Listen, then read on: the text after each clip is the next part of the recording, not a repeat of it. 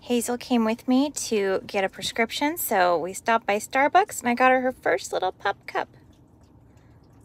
What do you think, baby?